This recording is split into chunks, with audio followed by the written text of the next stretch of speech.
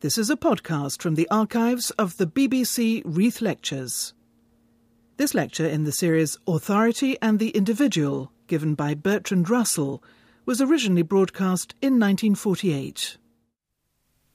We present the Reith Lectures, an annual series of broadcasts named in honour of the BBC's first Director General and instituted by the BBC as a stimulus to thought and a contribution to knowledge. The theme of this first series of six Reith lectures is authority and the individual. And the speaker is the eminent philosopher Bertrand Russell. His opening lecture is entitled Social Cohesion and Human Nature. Here is Bertrand Russell. The fundamental problem I propose to consider in these lectures is this.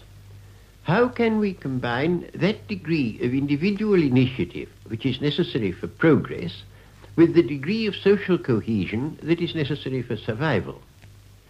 I shall begin with the impulses in human nature that make social cooperation possible. I shall examine first the forms that these impulses took in very primitive communities, and then the adaptations that were brought about by the gradually changing social organizations of advancing civilization. I shall next consider the extent and intensity of social cohesion in various times and places, leading up to the communities of the present day and the possibilities of further development in the not very distant future. After this discussion of social cohesion, I shall take up the other side of the life of man in communities, namely individual initiative, showing the part that it has played in various phases of human evolution the part that it plays at the present day and the future possibilities of too much or too little initiative in individuals and groups. I shall then go on to one of the basic problems of our times, namely the conflict which modern technique has introduced between organization and human nature, or, to put the matter in another way, the divorce of the economic motive from the impulses of creation and possession. Having stated this problem, I shall examine what can be done towards its solution. And finally, I shall consider as a matter of ethics the whole relation of individual thought and effort and imagination to the authority of the community. In all social animals, including man, the cooperation and the unity of a group has some foundation in instinct. This is most complete in ants and bees, which apparently are never tempted to antisocial actions and never deviate from devotion to the nest or the hive. Up to a point, we may admire this unswerving devotion to public duty, but it has its drawbacks. Ants and bees do not produce great works of art or make scientific discoveries or found religions teaching that all ants are sisters. Their social life, in fact, is mechanical, precise, and static we are willing that human life shall have an element of turbulence, if thereby we can escape such evolutionary stagnation. Early man was a weak and rare species, whose survival at first was precarious. At some period, his ancestors came down from the trees and lost the advantage of prehensile toes, but gained the advantage of arms and hands. By these changes, they acquired the advantage of no longer having to live in forests, but on the other hand, the open spaces into which they spread provided a less abundant nourishment than they had enjoyed in the tropical jungles of Africa. Sir Arthur Keith estimates that primitive man required two square miles of territory per individual to supply him with food and some other authorities place the amount of territory required even higher. Judging by the anthropoid apes and by the most primitive communities that have survived into modern times, early men must have lived in small groups, not very much larger than families. Groups which, at a guess, we may put at, say, between 50 and 100 individuals. Within each group, there seems to have been a considerable amount of cooperation. But towards all other groups of the same species, there was hostility whenever contact occurred. So long as man remained rare, contact with other groups could be occasional, and at most times not very important. Each group had its own territory, and conflict would only occur at the frontiers. In those early times, marriage appears to have been confined to the group, so that there must have been a very great deal of inbreeding, and varieties, however originating, would tend to be perpetuated.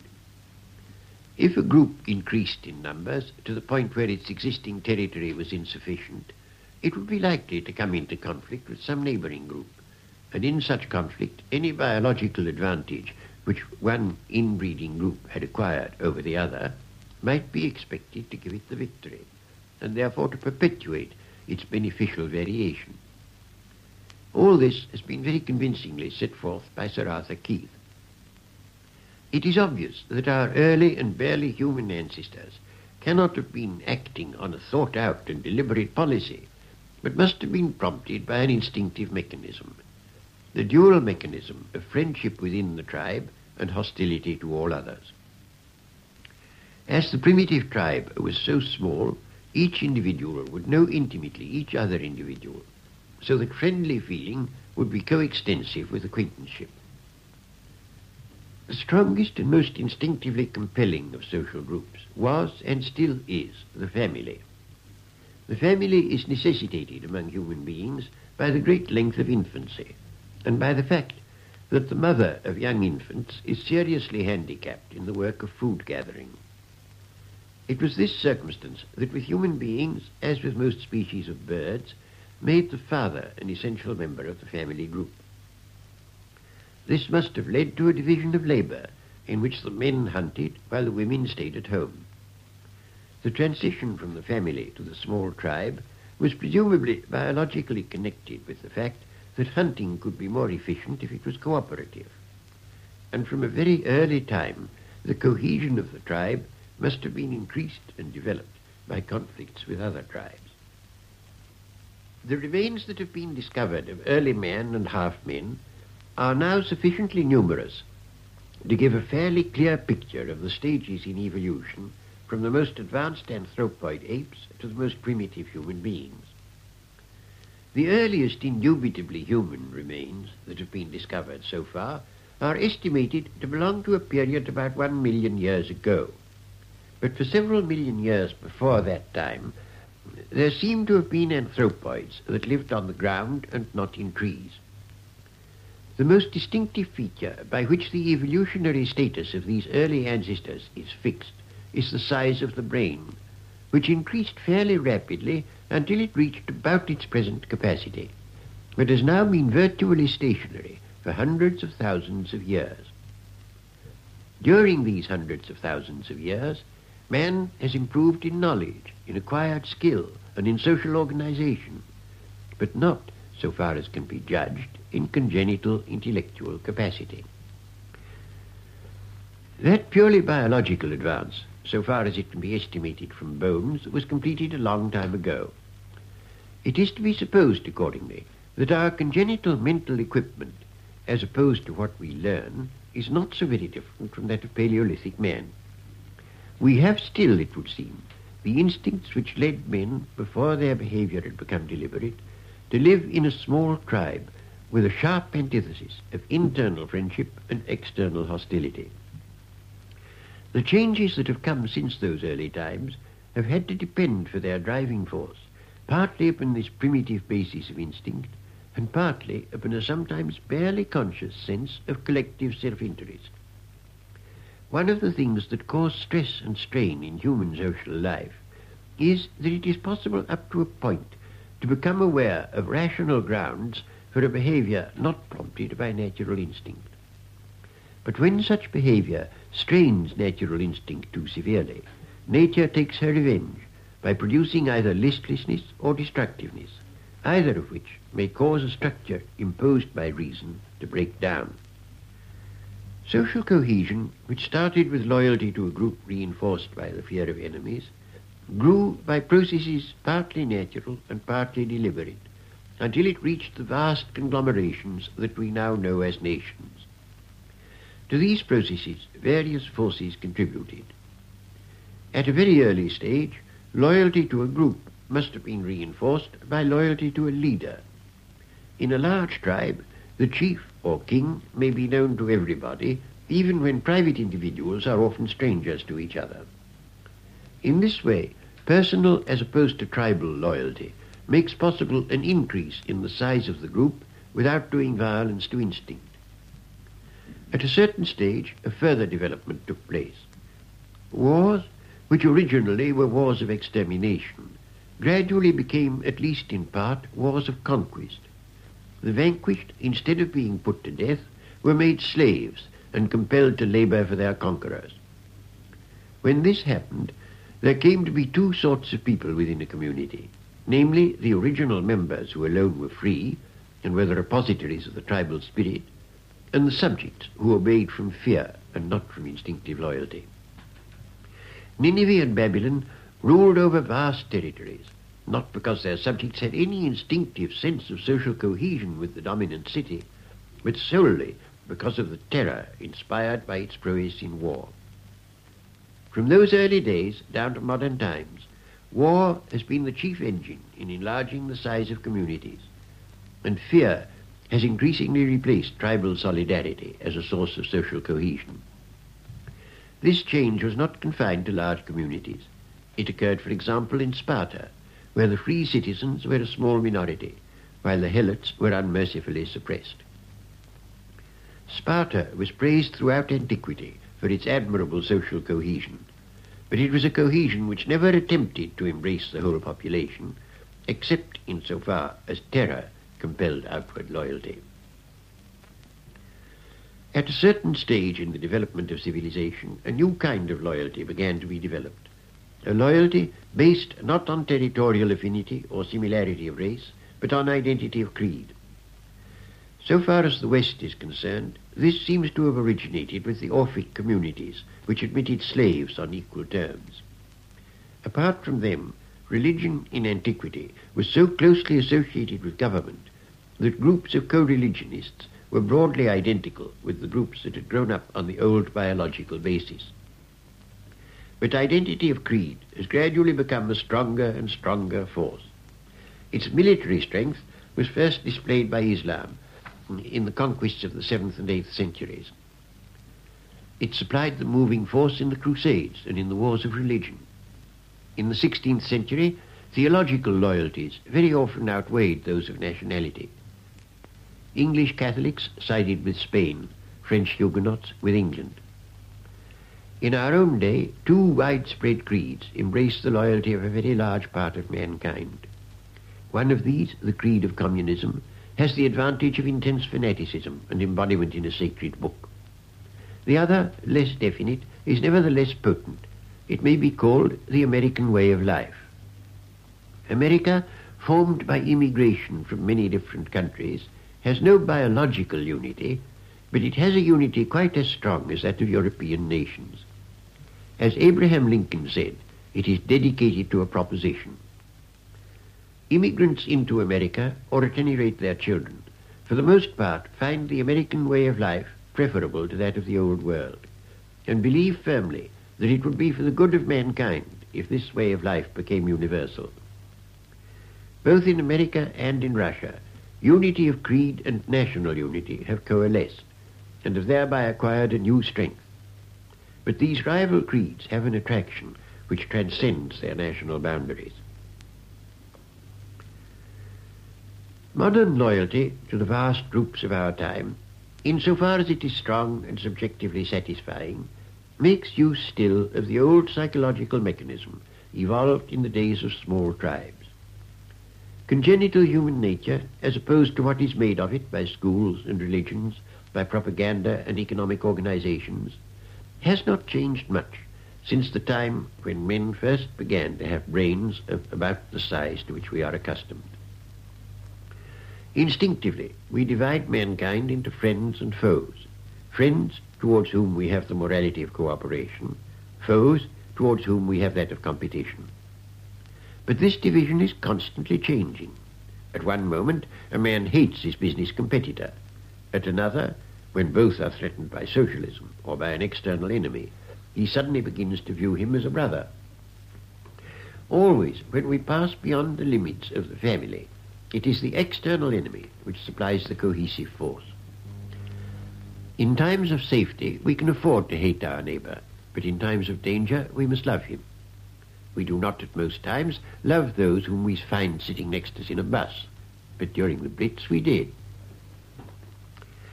It is this that makes the difficulty of devising means of worldwide unity.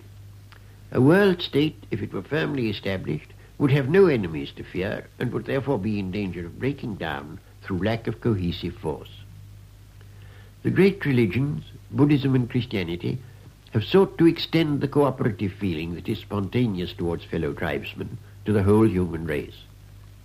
They have preached the brotherhood of man, showing by the use of the word brotherhood that they are attempting to extend beyond its natural bounds an emotional attitude which in its origin is biological.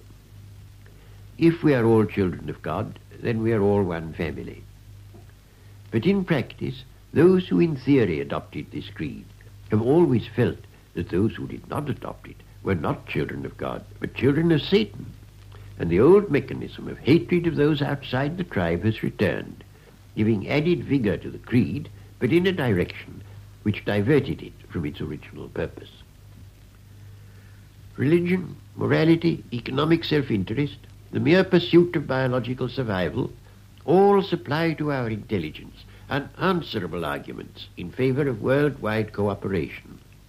But the old instincts that have come down to us from our tribal ancestors rise up in indignation, feeling that life would lose its savor if there were no one to hate, and that anyone who could love such a scoundrel as so-and-so would be a worm, and that struggle is the law of life, and that in a world where we all loved one another, there would be nothing left to live for. If the unification of mankind is ever to be realized, it will be necessary to find ways of circumventing our largely unconscious primitive ferocity, partly by establishing the reign of law, and partly by finding innocent outlets our competitive instincts. This is not an easy problem, and it is one which cannot be solved by morality alone. Psychoanalysis though no doubt it has its exaggerations and even perhaps absurdities, has taught us a great deal that is true and valuable. It is an old saying that even if you expel nature with a pitchfork, it will still come back. But psychoanalysis has supplied the commentary to this text. We now know that a life which goes against natural impulse beyond a point is one which is likely to involve effects of strain that may be quite as bad as indulgence in forbidden impulses would have been. People who live a life which is unnatural beyond a point are likely to be filled with envy, malice, and all uncharitableness. They may develop strains of cruelty, or, on the other hand, they may so completely lose all joy of life that they have no longer any capacity for effort. This latter result has been observed among savages brought suddenly in contact with modern civilization. Anthropologists have described how Papuan headhunters, deprived by white authority of their habitual sport, lose all zest and are no longer able to be interested in anything. I do not wish to infer that they should have been allowed to go on hunting heads, but I do mean that it would have been worthwhile if psychologists had taken some trouble to find some innocent substitute activity. Civilized man everywhere is to some degree in the position of the Papuan victims of virtue. We have all kinds of shocking impulses, and also creative impulses, which society forbids us to indulge, and the alternatives that it supplies in the shape of football matches and all-in wrestling are hardly adequate. Anyone who hopes that in time it may be possible to abolish war should give serious thought to the problem of satisfying harmlessly the instincts that we inherit from long generations of savages. For my part, I find a sufficient outlet in detective stories, where I alternatively identify myself with the murderer and the huntsman detective. But I know there are those to whom this vicarious outlet is too mild, and for them something stronger should be provided. I do not think that ordinary human beings can be happy without competition. For competition has been, ever since the origin of man, the spur to most serious activities. We should not therefore attempt to abolish competition, but only to see to it that it takes forms which are not too injurious. Primitive competition was a conflict as to which should murder the other man and his wife and children. Modern competition, in the shape of war, still takes this form. But in sport, in literary and artistic rivalry, and in constitutional politics, it takes forms which do very little harm, and yet offer a fairly adequate outlet for our competitive instincts. What is wrong in this respect is not that such forms of competition are bad, but that they form too small a part of the lives of ordinary men and women. Apart from war, modern civilization is aimed increasingly at security, but I am not sure that the elimination of all danger makes for happiness. I should like at this point to quote a passage from Sir Arthur Keith's new theory of, of human evolution. And this is a quotation. Those who have visited the peoples living under a reign of wild justice bring back accounts of happiness among natives living under such conditions. Freya Stark, for example, reported thus of South Arabia. When I came to travel in that part of the country where security is non-existent, I found a people, though full of lament over their life of perpetual blackmail and robbery, yet just as cheerful and as full of the ordinary joy of living as anywhere on earth. Dr. H. K. Fry had a similar experience among the Aborigines of Australia. A native in his wild state, he reports, lives in constant danger. Hostile spirits are about him constantly. Yet he is light-hearted and cheerful, indulgent to his children, and kind to his aged parents. My third illustration is taken from the Crow Indians of America, who have been living under the eye of Dr. R. Lowie for many years. They are now living in the security of a reserve. Ask a crow, reports Dr. Lowie, whether he would have security as now or danger as of old, and his answer is, danger as of old, there was glory in it. I am assuming that the wild conditions of life I have been describing were those amid which mankind lived through the whole of the primal period of its evolution. It was amid such conditions that man's nature and character were fashioned, one of the conditions being the practice of blood revenge. That is the end of the quotation from Sir Arthur Keith.